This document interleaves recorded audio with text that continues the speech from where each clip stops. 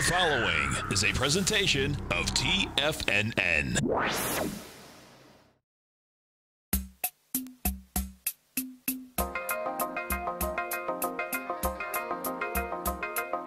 The Power Trading Hour with your host, David White. Call now, toll free at 1 877 927 6648. Internationally at 727 445 1044. Now, David White. Welcome all another exciting edition of the Trade. As always, we love to come to you.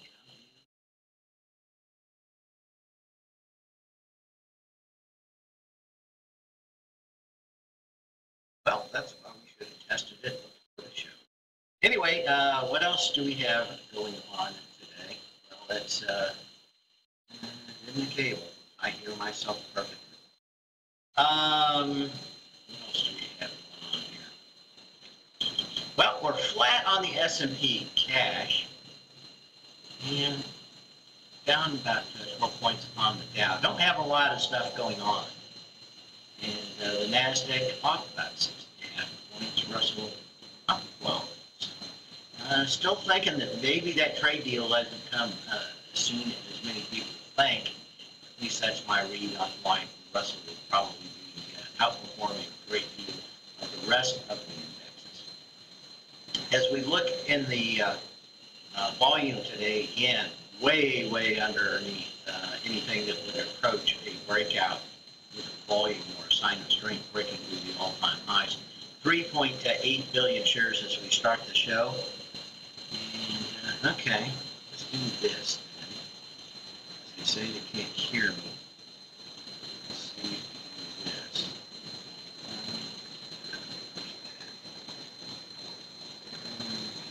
That's me. My settings. Settings. Date. What date? Huh. What is this? Down here? Setting not there either. Okay. Shut off. So they keep moving everything around here on Skype. Um, let's see about. Okay. Video settings. Them. Uh,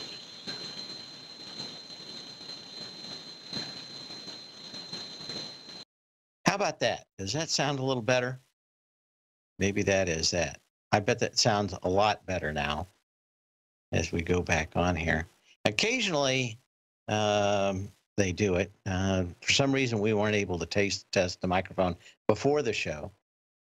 Uh, but uh, that's it. Yeah, occasionally, uh, the uh, Skype decides to update its settings and it wants to use the microphone on my on my uh, camera, but I got this nice, expensive microphone in front of me that makes me say sound at least to myself uh, like somebody. So I like it.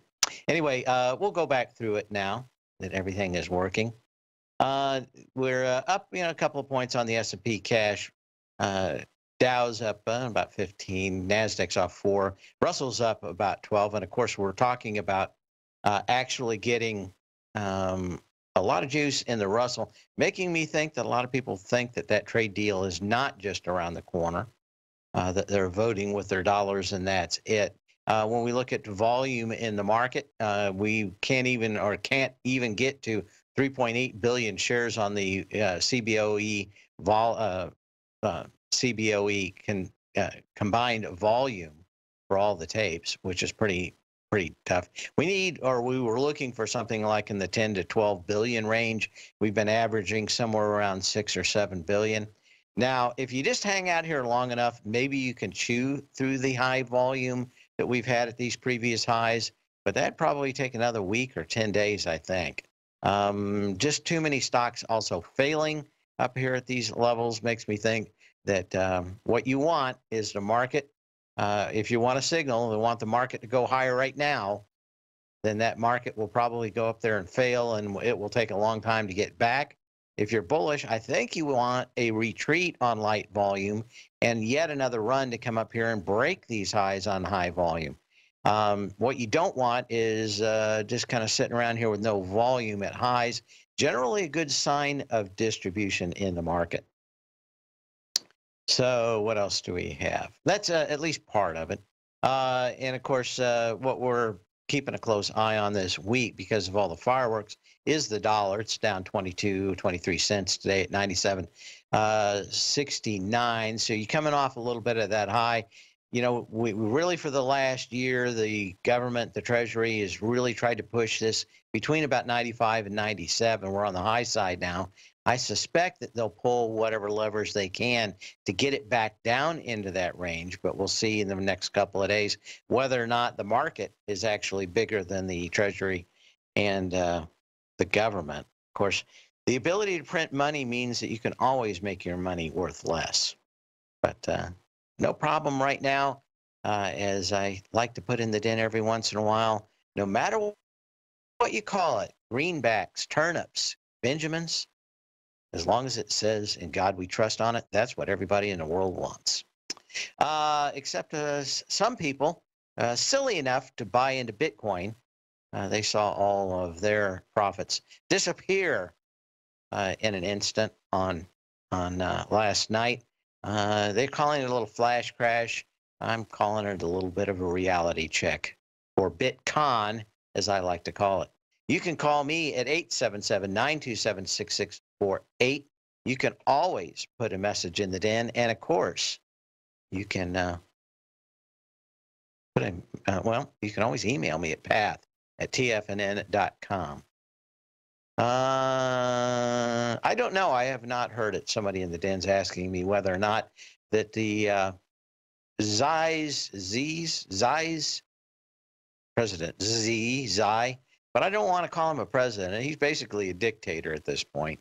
Uh, as conciliatory as financial TV is hyping, I don't know, um, but uh, you can never tell. Let's do a little history, and then we'll get into uh, some charts and some other things throughout the day. And it's all just a little bit of history repeating. On this day in 1954, the Salk uh, polio uh, vaccine field trials involving 1.8 million children began at the uh, Sherman Elementary School in McLean, Virginia. Children in the United States, Canada, and Finland uh, participated in the trials, which used for the first time the now double standard and double blind method, where either the with neither the patient nor the attending doctor knew if the inoculation was the vaccine or placebo. On April 12, 1955, researchers announced the vaccine was safe and effective and quickly became the standard part of childhood immunization. Of course, uh, I was born uh, far, far, far, and on a distant planet uh, away from that. But uh, I always remember that uh, the post office hired a lot of people that had had polio, and my mailman was one. He even just lived down the street. But uh, I always thought why, where did this polio thing come from? Why did only old people have it? Well, vaccines, not as bad as you would think. A lot of morons now kind of going against vaccines. They can be very safe and effective. We'll be back after this.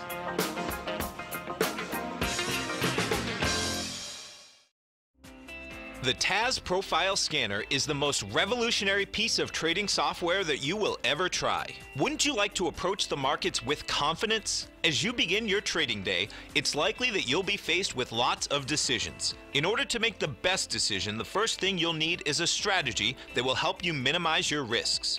Whether we're in a bull or bear market, a good strategy is to have the tools needed to help you scan and analyze the markets before you trade. The TAS Profile Scanner instantly scans and filters over 2,500 global financial markets, such as stocks, ETFs, commodity futures, and Forex. Headed by Steve Dahl, president of TAS Market Profile, the TAS Profile Scanner understands that in today's technological world, the use of top flight software applications, automated trading algorithms, and technical analysis expertise is essential to successful trading in today's market. Whether you're looking at the trade matrix, the ETF heat grid, the market breadth, the landscape charts, or the many other features of the TAS Profile Scanner, this is a piece of software that will revolutionize how you look at the markets and set up your trades. The team at TAS has even put together a 12 part video series to walk you through every aspect of the TAS Profile Scanner, which you can find directly on the TAS order page at tfnn.com. Sign up now for only $97 a month with a risk free 30 day trial so you have nothing to lose and everything to gain. See for yourself how you can harness the full power of the TAS Profile Scanner by visiting the front page of TFNN.com today, and you'll find the TAS Profile Scanner under the Services section. Remember, with a 30 day money back guarantee, you have nothing to lose. Don't let another day pass you by without trying out this amazing piece of software that will revolutionize how you look at the market and how you place trades. Sign up today. Many of our new listeners have heard about the Tiger's Den. The Tiger's Den is a lively community where professional traders and investors can meet, exchange ideas and information in a comfortable, moderated atmosphere. Hear all of the TFNN shows, plus see all of the charts as they happen live and have access to archives of all of those charts. You can test drive the Tiger's Den absolutely free for 30 days and greatly enrich your knowledge of these markets and how to make your money work for you. Details on the Tiger's Den are on the front page of TFNN.com. TFNN has launched our brand new website. You can still visit us at the same TFNN.com URL, but when you do, you'll see a new and improved homepage with a much simpler navigation, whether you're watching Tiger TV live in high definition or just accessing your newsletter subscriptions. We even have new pricing in six months and yearly options. Check out the new TFNN.com now and experience all the upgrades. TFNN.com, educating investors. Call now, toll free at 1 877 927 6648. Internationally at 727 873 7618.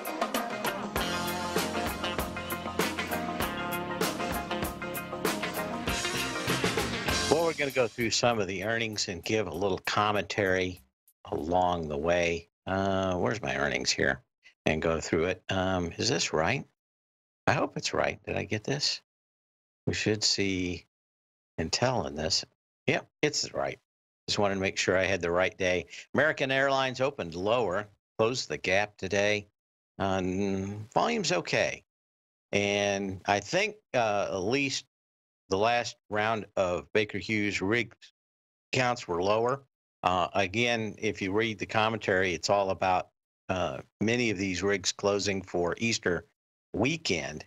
So you get a few of them that are actually set down. From now on, if my theory is correct and that we've seen peak oil prices, but not peak oil, then we probably should uh, see the crude continue down, probably back into the low 50s, I suspect.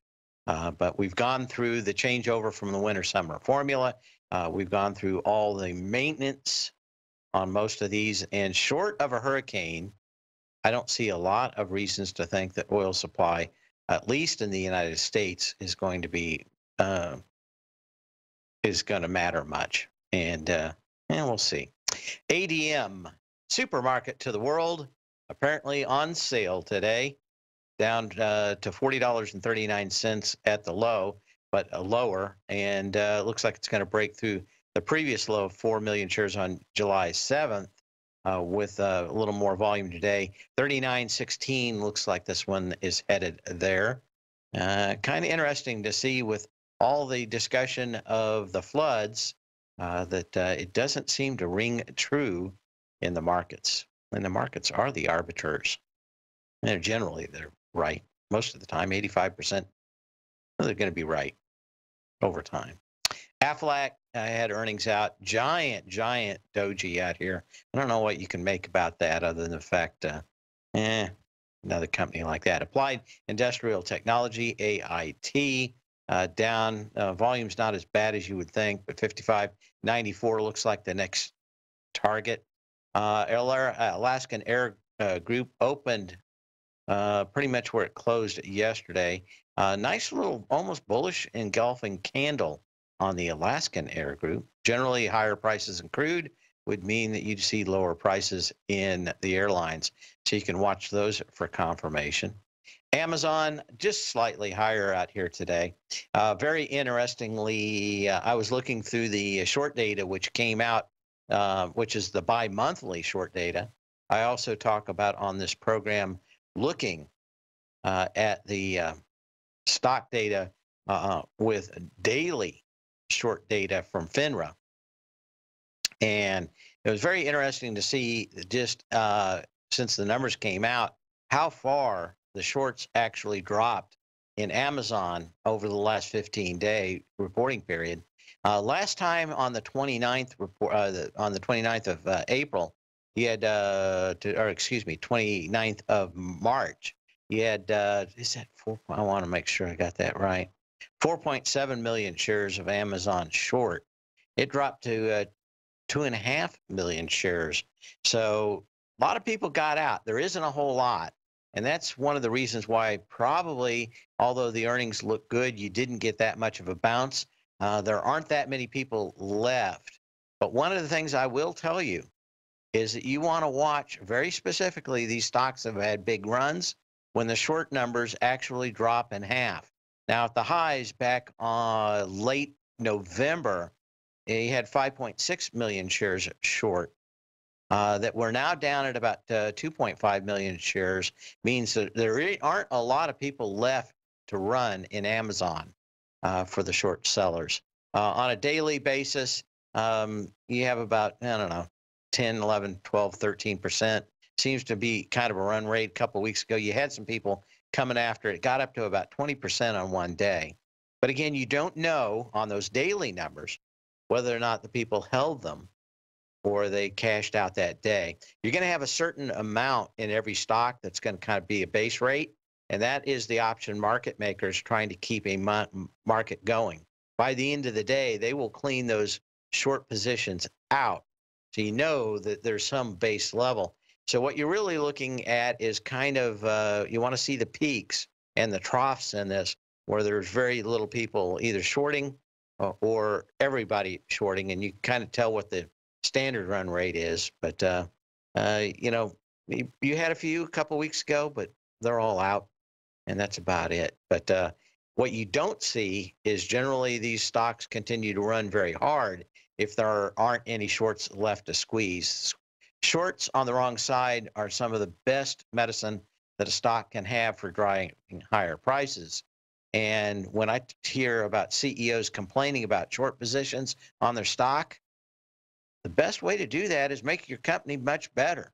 There's a reason that people are shorting your stock. Um, things don't look good, and uh, it's probably your fault. Maybe something you can't avoid, but I don't think if it was something you can't avoid, like your headquarters got hit by a meteor or something, I don't think you can complain. But uh, that's just me. AstraZeneca uh, went up to $43.30 on March 1st, and going down since then. It has finally come back and filled this double gap. Um, if you're really interested in stocks like this, this is what I like, but uh, you want to see not much volume today. You might find something. Um, I was long this stock because it had such low volume at the lows, uh, but I had a very short stop, and I think I lost 50 cents on a $25 stock. So no a big deal on this, and that I think that was a week or two ago. But it never had the volume. Now it actually did close up before earnings uh, yesterday, back into the trading range. Uh, didn't feel like uh, taking another swing at it, but it was one of the better looking stocks. Got to 27, 26. This is Natus medical equipment. They make a lot of stuff for babies. Guess maybe everybody's thinking babies are back in vogue these days. Let's see what else is out here that I want to look at. Uh, Capital One, COF, a nice little pop here today into the previous highs. Now, this one, you wanted to see something like two, two and a half million shares. Got uh, 2.9 so far. It's not a blowout, but it certainly gets you back into the 90s. And I don't like shorting stocks in the 90s because they almost always go to 100.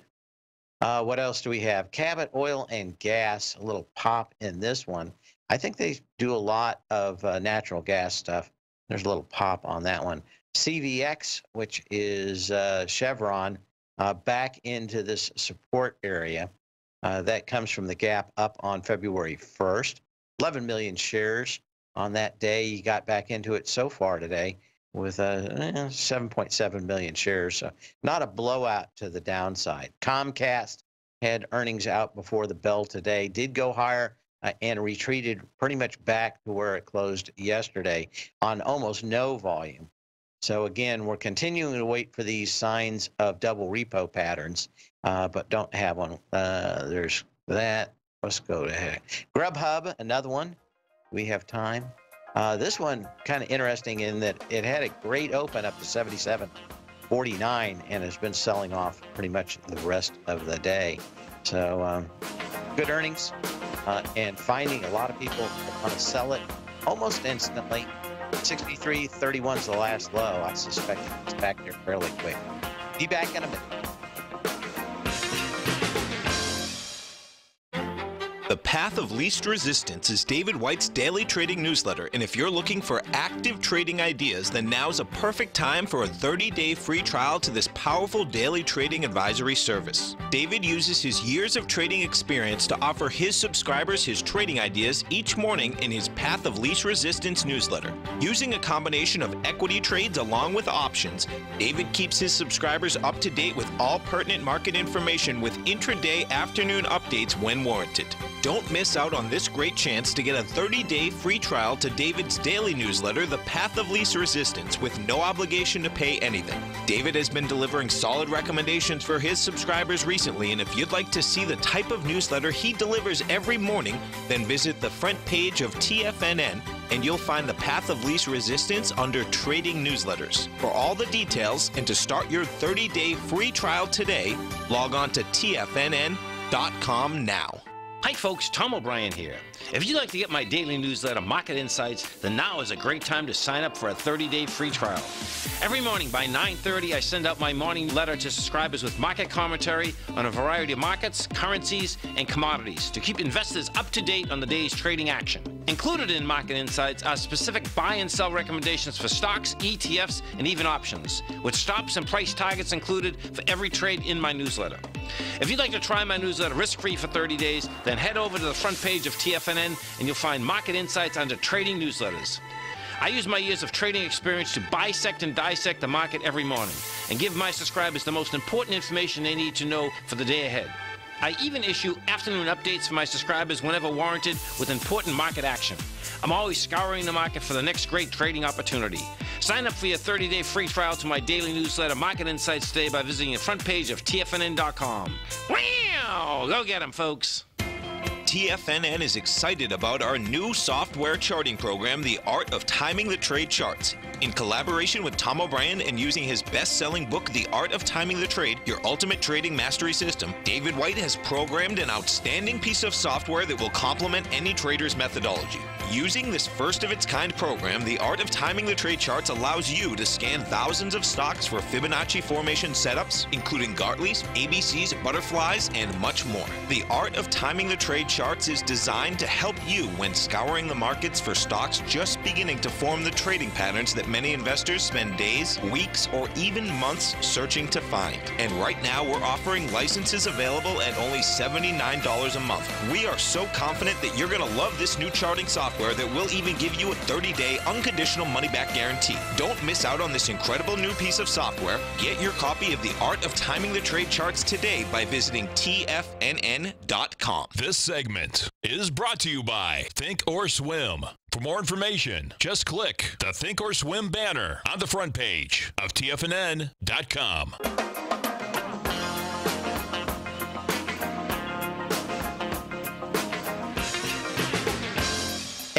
And we're going to go to uh, John in Philly. How you doing today, John? Good afternoon, David. Uh, thanks for taking the call. David, I wanted to ask you about the business prospects for Qualcomm. Uh, by way of background, uh, I referenced the uh, terrific job you started doing way back like the start of the second quarter of 2018, so over a year ago, describing its, uh, its power in its development and patent portfolio and how uh, its um, a product development lineup that would be uh, embedded into 5G phones whenever they get rolled out were really powerful. And then, of course, back on Tuesday, April 16th, there was that uh, agreement right as a, a, a settlement, uh, right as a trial between Apple and Qualcomm was uh, just starting. Uh, settlement was agreed to, and the stock has spiked. But I'm wondering if you can just describe conceptually what you can foresee happening in the next couple of quarters with the business itself, please. Uh, well, uh, certainly Samsung, I think, announced yesterday, maybe it was this morning, can't remember, that their next uh, phone will have 5G in it for its flagship phones. So we're, we're going to start seeing those uh, chips uh, ship fairly quick. It's not just Qualcomm with their 5G chips, they have something else up their sleeve too, and that is if you hold the phone in a certain way with 5G, you can block all the signal. So they had to come up with a design for an antenna that will work no matter where you put your hand on the phone. And uh, they have that, and that may even be worth more than the the actual modem chip that goes in the phone, because someone's going to have to figure out a way to get around it. I always said that one of the things you don't want to be involved in is the black arts, and that's radio frequency stuff. Digital stuff, like I was in, it's either on or off. Maybe there's some interference and stuff, but uh, it's you know pretty. It's not easy, but at least it's straightforward figuring stuff out. Uh, when you get to radio frequency stuff, there's all kinds of propagation issues and everything else, and you just don't. You know, when Intel said they were getting into it, you just don't do that overnight. You don't go from an analog uh, radio frequency kind of stuff to a digital frequency kind of stuff. And of course, they've had all the patents on it. Now they got all the patents on 5G too. So they got the old patents and the new patents. Um, I think that there's something even bigger afoot, uh, and I, I, guess it's slowly filtered out to me. Uh, and that was uh, the argument between Apple and Qualcomm, in which Apple was actually getting ready to try to defraud uh, the court. Uh, they were out buying uh, basically worthless patents in this field and we're going to claim that they were all kinds of stuff. I mean, they were buying these patents for like a thousand bucks or something, and they literally didn't wouldn't hold any water whatsoever. And uh, apparently, this whole thing with Intel dropping theirs and uh, getting into Qualcomm happened extremely fast. Uh, when the judge basically said, uh, "Hey, I'm going to fry you uh, I'm going to fry you like some uh, French fries at McDonald's over this if you continue to push this kind of crap. And actually, I saw some more stuff this morning about it. Uh, but they've been uh, basically someone ratted them out now and today and found out that Apple was planning this uh, uh, shenanigans over two years ago. So they want what they wanted to do was try to bust uh, Qualcomm's patents. And when the judge, I, I, guess Qualcomm actually said, hey, we've got somebody that's going to, uh, they announced their witnesses and they added this guy at the last. And that was it. Within 18 hours, uh, Intel was out of the business and uh, Qualcomm was back. And they didn't really negotiate too much from the existing patent uh, formula, which is based on price which is why Apple got so mad in the first place. Apple thought, well, you know, we're building $400 phones. We'll sell this li- uh, we'll sign this licensing agreement, and we'll be happy. Well, now they're paying twice that or more to uh, Qualcomm because they're charging a thousand bucks for the phone, and they don't think that they should or didn't think that they should, but they knew what they signed up front, and just decided that hook or crook they were going to get out of it. Um, and at the same time, if they could destroy Qualcomm, then they could be like Walmart, going around crushing anybody that even tried to act like they had pricing power. Uh, so uh, David, that all. I, I just have to interject. What that story you're referring to on Apple's tactics? That sounds like the sort of material that would make uh, the basis of a fabulous John Grisham novel. It, it, it is kind of a little bit like that, but no one get got killed at least that we know of. but um, you know, a lot of this stuff is kind of starting to leak out. Um, and I, you know, it's Apple's kind of gone up here on, you know, it was 140 bucks. Now it's 200 bucks. I never understood the range uh, run from 140 to, to 200. They say that they weren't going to have uh, phones till maybe next year uh, with 5G in them. And I'm wondering whether or not they kind of saw this thing coming and we're already telling people like Buffett that own shares that we'll have a 5G phone by the end of this year anyway. And they were probably thinking that it was going to be Intel. Then Intel told them, you know what? It's going to be at least another three or six months after we told you until those uh, the modems are ready, and much less getting a uh, a um, a patent that would pass theirs for the antenna, which I think right now may even be the bigger issue, in the, at least in the Thank short term. I appreciate all that uh, background and input. Can I uh, lastly ask you, just to make a wild guess, um, in the next couple of quarters, uh, would you guess that uh, Qualcomm's uh, sales ramp will be sufficiently quick uh, where uh, people who have bid the stock up over 75 and 85 uh, won't get disappointed and sell the stock back off?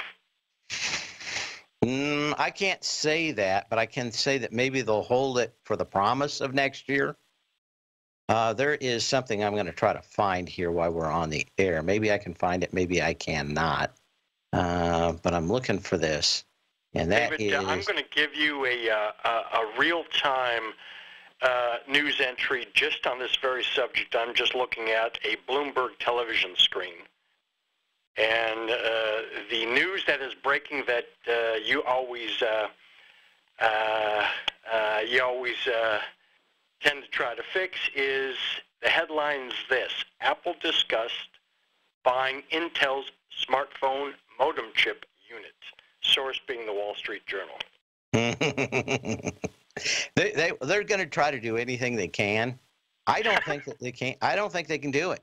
I mean, they they've there's like eight countries that you can't ship an iPhone into right now.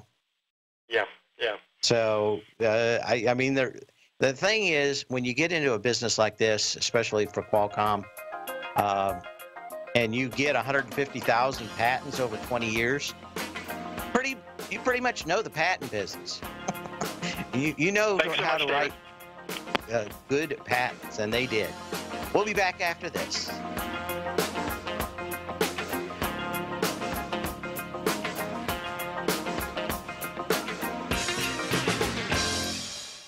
If you're in the CD market and looking for a secure investment, the Tiger First Mortgage Program may work for you. The security for these first mortgages are building lots in the tax opportunity zone in St. Petersburg, Florida. The Tax Act of 2018 set up tax-free zones across the country where you can build and hold for 10 years and pay no tax on the profits, which makes these lots valuable.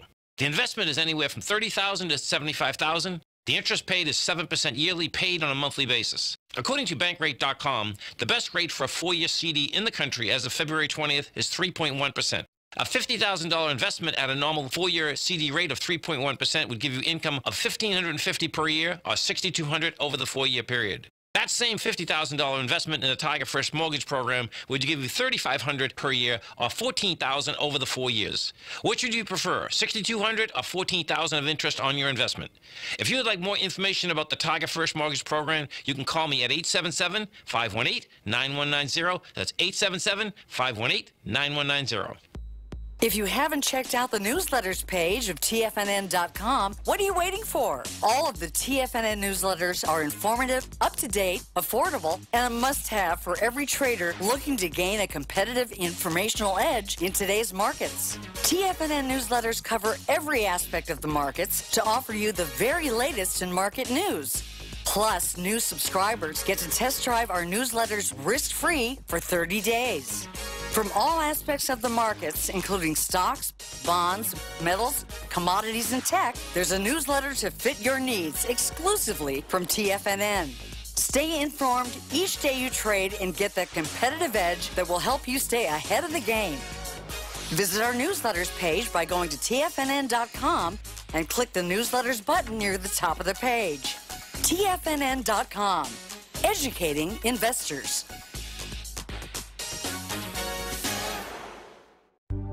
Will the S&P 500 continue to climb? For bold trades on US large cap stocks in either direction, trade SPXL, SPUU, or SPXS. Directions Daily S&P 500 Bull and Bear Leveraged ETFs. Direxion leveraged ETFs. An investor should carefully consider a fund's investment objective, risks, charges, and expenses before investing. A fund's prospectus and summary prospectus contain this and other information about Direxion shares. To obtain a fund's prospectus and summary prospectus, call 866 476 7523 or visit direxioninvestments.com. A fund's prospectus and summary prospectus should be read carefully before investing. An investment in the funds is subject to risk, including the possible loss of principal. The funds are designed to be utilized only by sophisticated investors such as traders and active investors. Distributor Foreside Fund Services, LLC. Don't forget, you can listen to TFNN live on your mobile device 24 hours per day. Go to TFNN.com, then hit Watch Tiger TV. That's TFNN.com, then hit Watch Tiger TV for the latest market information.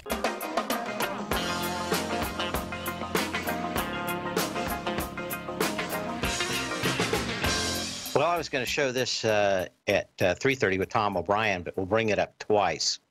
And uh, this is a bell curve called the technology adoption like uh, life cycle. So when John was asking about Qualcomm and early adopters and innovators, um, a very small portion of the money that's made is going to be in the first year, year and a half of 5G. It's what happens in the next five years after that. Uh, and this is, you know, they've done a lot of studies on various products, and it seems almost, um, almost uh, like a, a, a proverb of how close this curve and the amount of money that's made in technology actually uh, it actually happens uh, with the percentages that are listed on this chart. Uh, and for the, you know, we don't, I think we've had the first 5G cell towers up. There's only a hand kind, uh, a hand uh, full of phones out there. And again, we're probably looking at uh, May to June when the Samsungs come out. So that's really first. And uh, you've got a handful of cities, about five. Uh, and Manhattan, where the really going to be probably the uh, first million is going to be the easiest to get. Then you got a handful of other cities where they're really kind of testing uh, how this works and where they need to put the um, towers. Uh, there are going to be a lot more of them. They're going to be a lot lower powered. But uh, uh if you ever want this, this is uh, one of the. Uh, I mean, it's become kind of rote that everybody actually believes exactly what this is. But it's all some of the John Christensen's uh, books on innovation and technology where he went back and researched it when he was a college professor. Uh, but it works very well. Uh, now, one of the things I want to point out here uh, is this big flag that says the chasm, the key to accelerating NG111 adoption, uh, where there's a key here. And this is where most new technology fails. Uh, or new technology companies fail, maybe is a better way to put it. And when you talk about uh, new technology, let's say, let's talk about Tesla today. Uh, that's about where Tesla is. Now, we can look at the rest of the amount of money that's going to be made in that industry over time. Uh, and we're probably just past and into the early adopters, maybe about 10%. But that's when a lot of companies actually blow up and the risk is absolutely the highest. That is where you go from being a boutique company to trying to actually produce stuff at scale. And that is when so many companies blow up. Uh, generally, it's a little bit uh, easier once you get into the uh, early majority of people buying products uh, because generally the risk is far, far less. Now, Facebook was exactly at that chasm point when they went public at 40 bucks. And what they didn't have was a way to make money. Had a lot of people, and they eventually found it. But that's why the stock IPO'd at 40 bucks and went to 20. They never really knew what they were going to do and how they were going to make money. And that was a tough, tough time to see the stock drop 50% on a company that was growing like a weed but couldn't make a dime. And uh, that's it. But, uh, you know, generally, if you can find stocks on sale, that's where your risk is going to be the lowest if they kind of blow up. Uh, if you're trying to take a flyer or buy a uh, a option on it. Uh, but once you get into the early majority stuff, then it's kind of that. So as far as 5G, uh, which is what started this discussion, uh, we're kind of really in that innovators part where the first two and a half percent of the money that's ever going to be made on 5G is probably going to be made. And that probably is not going to get into the early adopters till late this year or maybe the first part of next year. Then we start looking. But the reason that the stocks get bid up is that they know that Samsung and Qualcomm uh, have their ducks in a row, have the poop in a basket, whatever you want to call it, and that early majority money is going to dwarf anything in the next six months. So they're not too worried about it. They want to be in that for the long time, term. They just thought that maybe Qualcomm wasn't going to be part of it. I never understood the argument that with 12% of the phones uh, being sold, that Apple was that big a deal, other than the fact that maybe that'd be early adopters. Uh, but I still don't think that there's a lot there.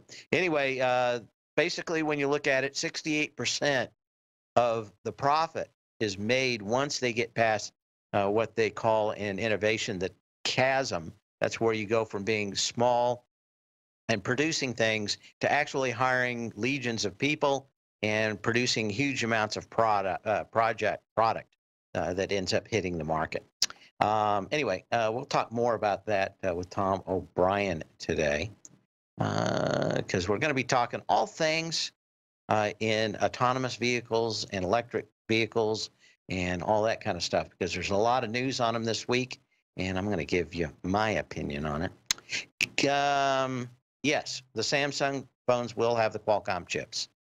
So uh, that's, I think, why uh, you kind of see that that's a little bit better. But I mean, I don't know. I just don't understand why Apple is somewhat while why it's a very small percentage of the market. Why everybody? I think there's kind of a myopic view of Wall Street, which is Apple. Their cell phones, they make all the money, but at the same time, there's 88% of the market that we ignore because it's not Apple. And I don't know. I don't understand those guys a lot of times. Uh, but I do make money when they go on the wrong side of that market. Uh, what's your short and long term uh, outlook on Home Depot if the market is going lower? Um, I did not like to see today that uh, that uh, Mohawk Industries had a big kind of nasty candle out here. Talk about uh, big and nasty. Um, again, I think this is pretty much supported by Buffett. So I don't think he was going to let it sit on that low all day. But they did run it down to 118.25. Uh, it's back up about 128. Sales numbers were not good. Uh, when you look at that, you look at water heaters, you look at all the other stuff that kind of leads the market in the housing business.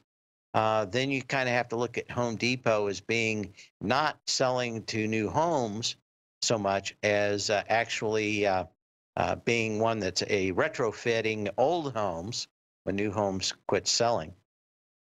Uh, I don't see that much happening, but I do think that we could see lighter home sales for the next six to nine months without any problem. And I think we're starting to see just the beginning of that uh, with Mohawk and some of the others.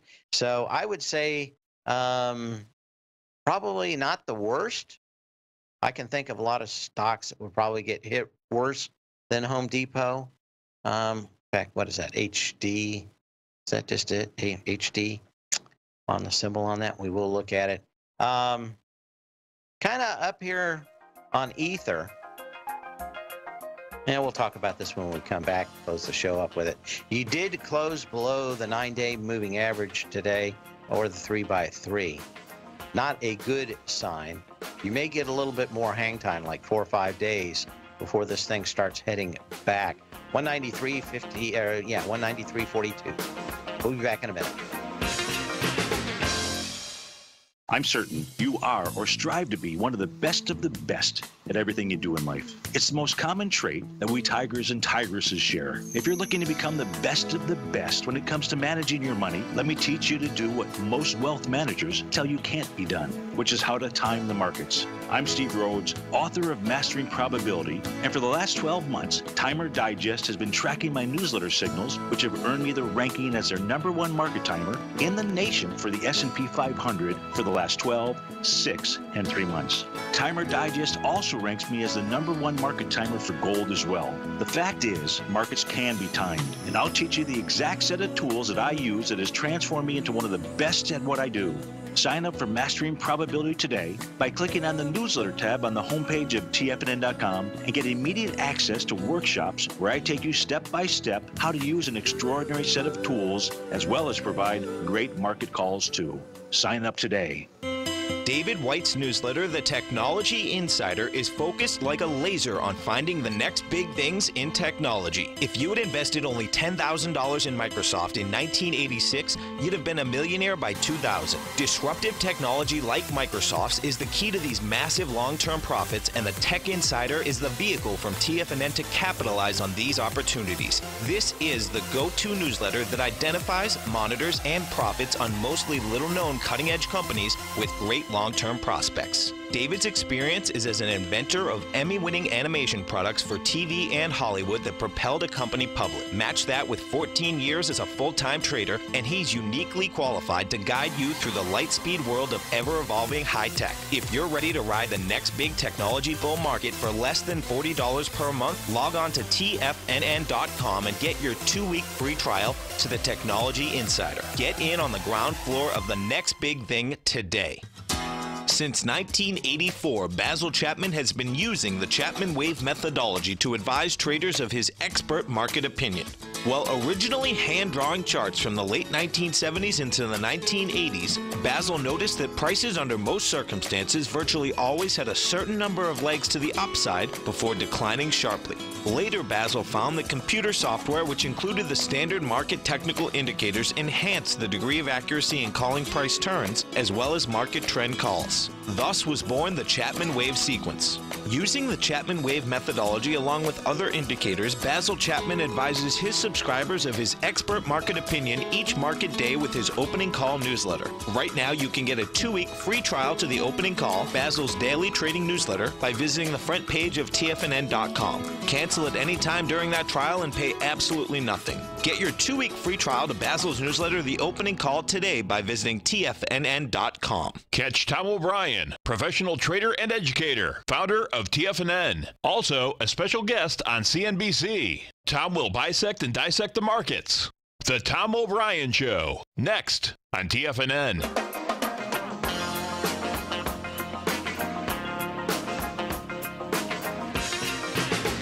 As we said, what we're looking for for highs in this market is a close below uh, after being mostly above uh, three by three or nine day moving average for a while. You got your close below that in Home Depot.